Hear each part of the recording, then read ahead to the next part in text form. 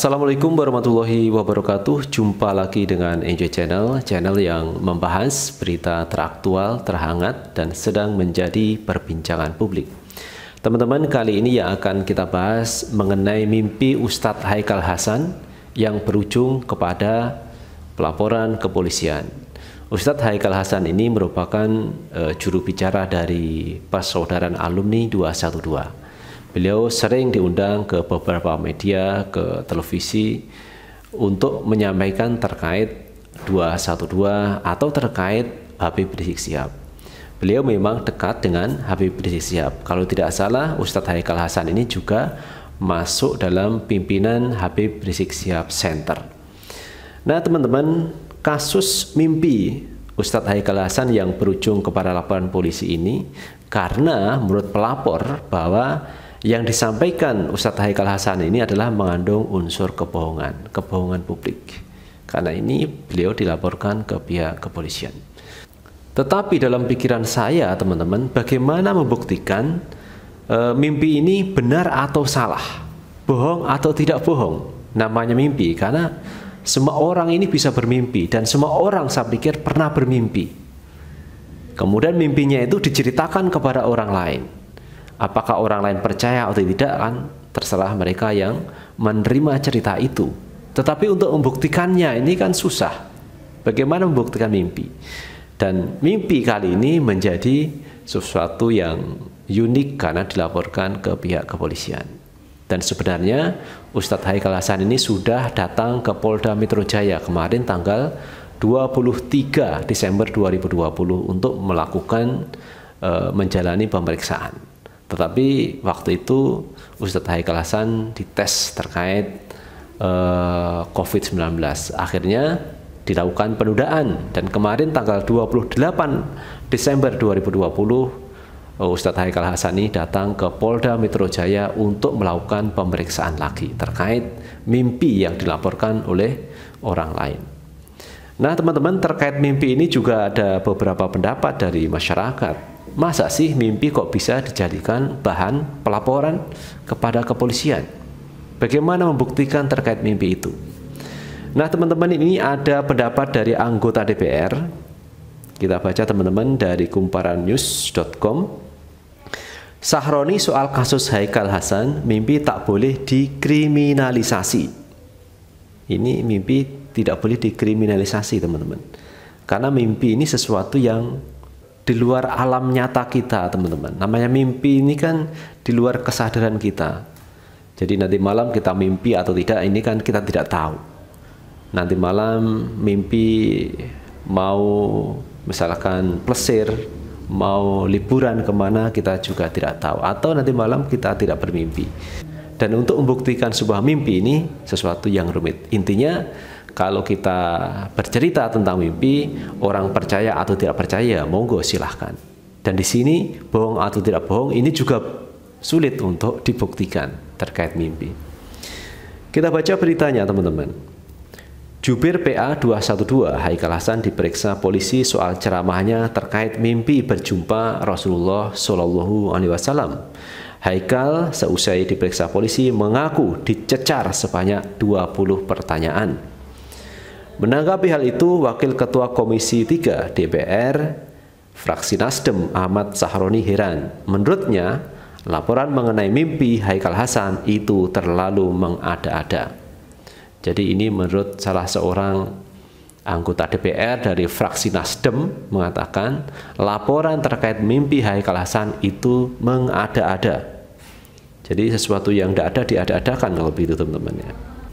Saya rasa pelaporan Haikal Hasan ini sudah sangat mengada-ada. Polisi juga harusnya bijak dalam menerima dan memfollow up laporan. Apabila sudah sangat mengada-ada, ya harusnya sudah saja. Nggak usah di follow up, kata Sahroni, Senin 28 Desember 2020 malam. Jadi kalau sudah mengada-ada, sebaiknya polisi sudah tidak perlu follow up, menindaklanjuti terkait laporan orang yang melaporkan Ustadz Haikal Hasan. Ini kata dari anggota fraksi Nasdem, teman-teman.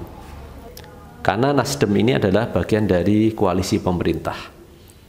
Jadi kalau Nasdem yang berbicara ini saya pikir lebih netral daripada uh, para pengusung Prabowo Sandi kemarin karena Nasdem ini adalah pengusung dari Joko Widodo Ma'ruf Amin. Polisi harusnya memakai energinya untuk kerjaan lain. Kan ini mau tahun baru, banyak yang harus dikerjakan tanpa dia. Ustadz Haikal Hasan dilaporkan oleh Forum Pejuang Islam. Laporan itu tertuang dalam nomor sekian tanggal 14 Desember 2020. Sahroni menyebut bahwa tidak memproses laporan itu lebih baik dilakukan oleh polisi dibanding melakukan proses pemeriksaan yang tidak masuk akal seperti meminta bukti dari mimpi bertemu Rasulullah. Nah, ini sesuatu yang tidak masuk akal lah teman-teman. Kalau bertemu dengan Rasulullah itu minta bukti. Apa buktinya bahwa Ustadz Haikal Hasan bertemu dengan Rasulullah? Atau Ustadz Haikal Hasan dalam ceramahnya kemarin menyampaikan ke keluarga 6 laskar FPI yang tewas kemarin itu keluarganya ini akan didatangi oleh Rasulullah. Akan didatangi.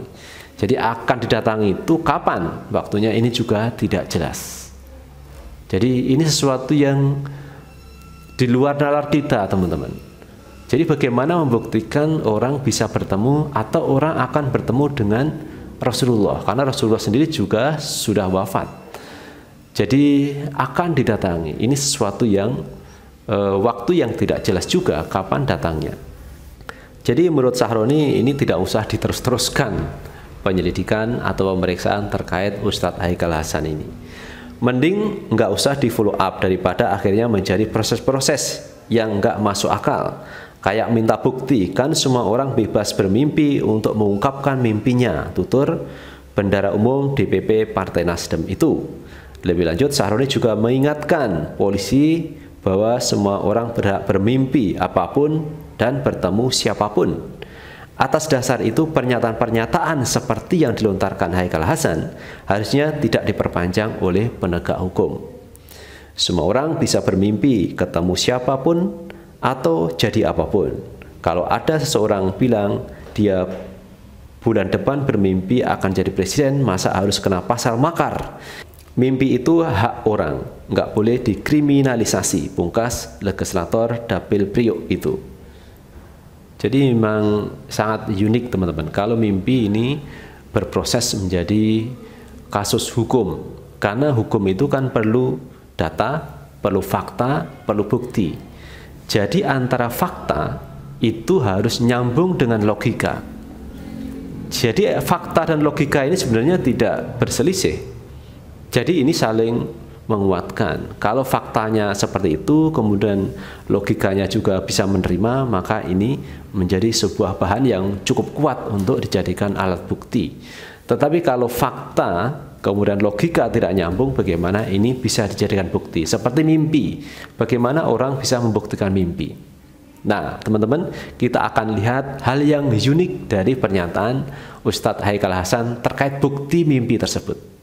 Jadi, mimpi ini suruh membuktikan. Bagaimana membuktikan? Kita lihat pernyataan Ustadz Haikal Hasan ini lebih lebih lucu lagi, teman-teman. Ini saya ambil dari kumparan news, teman-teman. Haikal Hasan ditanya bukti mimpi Rasulullah. Waktu mimpi saya nggak bawa HP. Ini lucu lagi teman-teman. Bagaimana membuktikan ketemu Rasulullah? Dijawab oleh Ustadz Haikal Hasan. Waktu bermimpi saya tidak pakai HP, tidak sempat menyoting, tidak sempat merekam. Ini tidak bisa dibuktikan. Kita lihat beritanya teman-teman. Ini lucu-lucu saja teman-teman di akhir tahun 2020 ini mimpi menjadi persoalan hukum, diproses secara hukum. Jubir PA 212 Haikal Hasan memenuhi panggilan Polda Metro Jaya terkait laporan mimpi bertemu dengan Rasulullah. Dalam pemeriksaan itu, Haikal ditanya soal bukti dari perkataannya itu.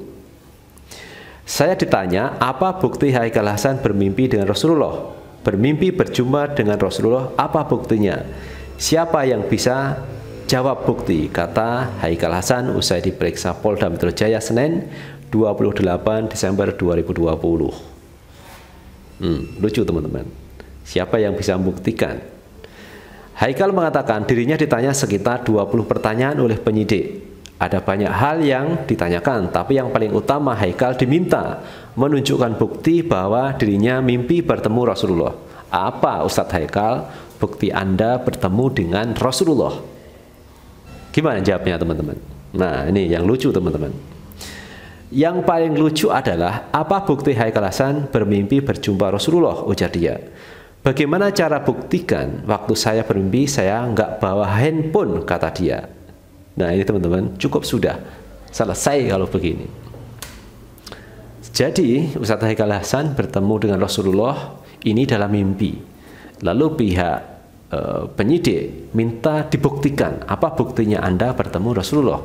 Dijawab oleh Haikal Hasan, saya bertemu Rasulullah itu tidak bawa HP, tidak bawa handphone, jadi tidak sempat merekam dan nyoting. Nah ini pertanyaan yang tidak logik, maka dijawab pun dengan tidak logik. Jadi dua-duanya saya pikir tidak nyambung ini. Suruh membuktikan, tetapi ini dalam mimpi, Kemudian Ustadz Haikal Hasan juga menjawab, waktu bermimpi saya tidak pegang HP. Selesai teman-teman. Jadi ini adalah hal yang lucu menurut uh, anggota DPR tadi bahwa tidak usah diterus-teruskan dan tidak usah di follow upi. Jadi menghabiskan energi untuk hal-hal yang sifatnya seperti ini. Mimpi. Jadi mimpi dibawa ke uh, proses hukum. Itu teman-teman terkait mimpi Ustadz Haikal Hasan akhirnya juga beliau harus diperiksa ke kepolisian untuk mengklarifikasi terkait apa yang disampaikan bahwa Ustadz Haikal Hasan bertemu dengan Rasulullah dan keluarga yang ditinggal dari enam laskar FPI yang tewas itu akan didatangi Rasulullah. Untuk membuktikannya ini yang susah karena mimpi. Sekali lagi menurut saya ini harus dihukumi dengan hukum mimpi. Jadi ini kan alamnya berbeda. Kalau alamnya berbeda harusnya hukumannya ya dalam mimpi. Seperti kita hidup di dunia ini. Maka hukum yang berlaku adalah hukum negara karena memang kita hidup di alam nyata. Maka hukumnya adalah alam nyata. Tetapi nanti kalau kita sudah tiada, sudah di hari kiamat, maka pengadilan di hari kiamat itu yang berlaku. Pengadilan Allah itu yang akan diadili dengan seadil-adilnya. Jadi ini beda, beda alam maka beda keputusan hukumnya. Itu menurut saya teman-teman. Jadi kalau alam mimpi maka ya dihukumi di alam mimpi. Alam nyata seperti kita sekarang ini maka dihukumi dengan alam nyata.